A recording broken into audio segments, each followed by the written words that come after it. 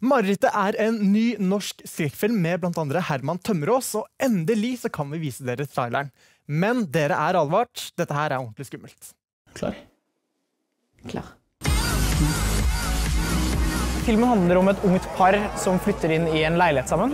Prøver å starte den voksne delen av livet sitt og finne ut hvordan man skal være voksne. Eh, og i den prosessen så opplever de nye ting om forholdet sitt, men også andre ting som skjer rundt som er litt vanskeligere å forklare. Fulltidsjobb. Egen leilighet. Men eh, ja, det blir faktisk bare to barn. Faen, jeg må stikke. Snakkes etterpå.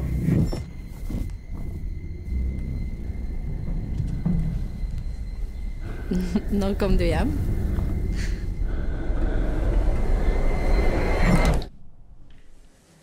Hva er det du driver med? Se nå. Når jeg kom hjem i natt, så fant jeg deg vandrende rundt i leiligheten. På et punkt så eh, begynner vår hovedrolle å våkne opp fra marerittene sine med skader på kroppen. Og da Det er jo ikke helt fett. Det var jævlig ekkelt. Betegnelsen mareritt henger sammen med tradisjonelle forestillinger om å bli ridd av en mare.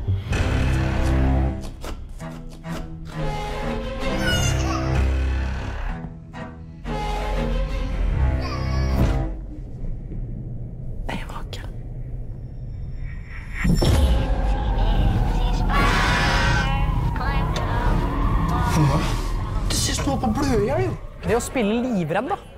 Nei, jeg, hvis, jeg, hvis man prøver å tenke seg om hvor mange ganger i sitt, sin tilværelse man virkelig er livredd Da snakker vi ikke sånn «Åh, åh, 'Jeg holdt på å dette ned en meter nå og få vondt i bein'. Vi snakker nå 'Nå kan jeg dø'. Den type redselen, å, å, å vise det fram, undervurderte jeg hvor vanskelig det er å hente fram. For jeg har ikke noe opplevelse i livet mitt jeg kan hente fram følelser der. ikke sant? Hvis jeg skal gjøre noe trist, ok, tenk noe trist, det opplever jeg hele tida. Så det krevde mye å klare å prøve å gjøre realistisk.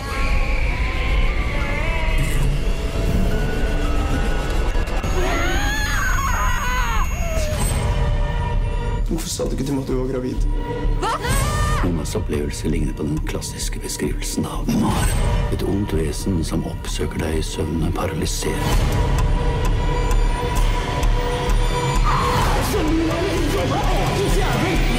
Noen har